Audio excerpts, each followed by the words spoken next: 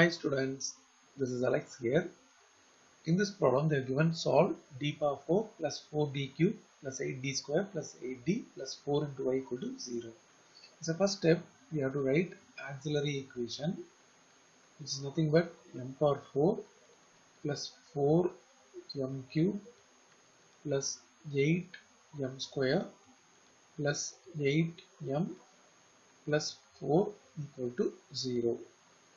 On solving this using calculator, we get the values of for m. So m is nothing but minus 1 plus i, minus 1 plus i, minus 1 minus i, again minus 1 minus i. So when we combine this, we get minus 1 plus or minus i. That is combining this and this minus 1 plus or minus i. Similarly, combining these two, once again it is same minus 1 plus or minus i. So the complex roots repeated twice.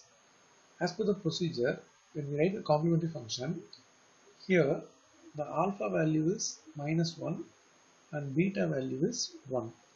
So e power alpha x bracket open.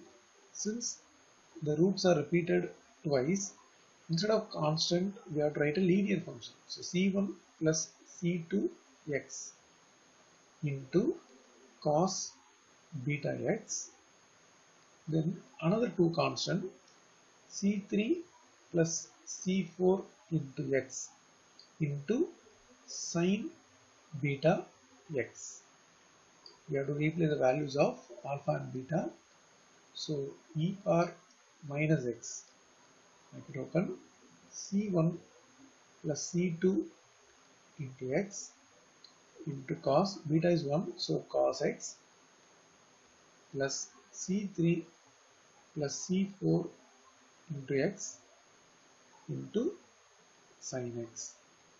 Since the other side is 0 in the given equation.